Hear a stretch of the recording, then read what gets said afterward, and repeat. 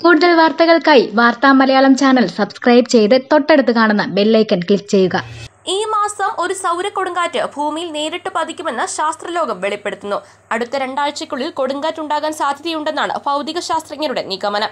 നാസയിൽ നിന്നും U S ആസ്ഥാനമായുള്ള national oceanic and atmospheric അഡ്മിനിസ്ട്രേഷനിൽ നിന്നും ശേഖരിച്ച വിവരങ്ങളുടെ അടിസ്ഥാനത്തിലാണ് ഈ പ്രവചനങ്ങൾ നടത്തിയത്. ഉടൻ തന്നെ കൊടുങ്കാറ്റ് വീശാൻ എൺപത് ശതമാനം സാധ്യതയുണ്ടെന്നാണ് പ്രവചനം. യു കെയിൽ കൊടുങ്കാറ്റ് വീശാനുള്ള സാധ്യത ഇരുപത് ശതമാനമാണ്.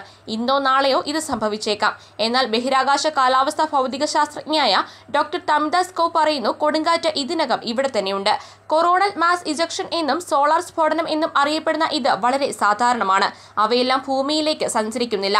അവ സംഭവിക്കുമ്പോൾ അതിനെ തടയാനുള്ള ശക്തിയുണ്ട്. ലോകമെമ്പാടുമുള്ള ആളുകൾക്ക് ഇത് കാണാൻ കഴിഞ്ഞേക്കും. ഉയർന്ന അക്ഷാംശ പ്രദേശങ്ങളിൽ പലപ്പോഴും കാണപ്പെടുന്ന ഒരു ലൈറ്റ് ഷോ ആയ അറോറ കൊടുങ്കാറ്റ് സമയത്ത് ഭൂമധ്യരേഖയിലേക്ക് കൂടുതൽ കാണപ്പെടുമെന്ന് പ്രതീക്ഷിക്കുന്നു. Amateur radio G P S സംവിധാനങ്ങളിലും പ്രശ്നങ്ങൾ പ്രതീക്ഷിക്കാം. പ്രത്യേകിച്ച് പ്രഭാതത്തിലും സന്ധിക്കും.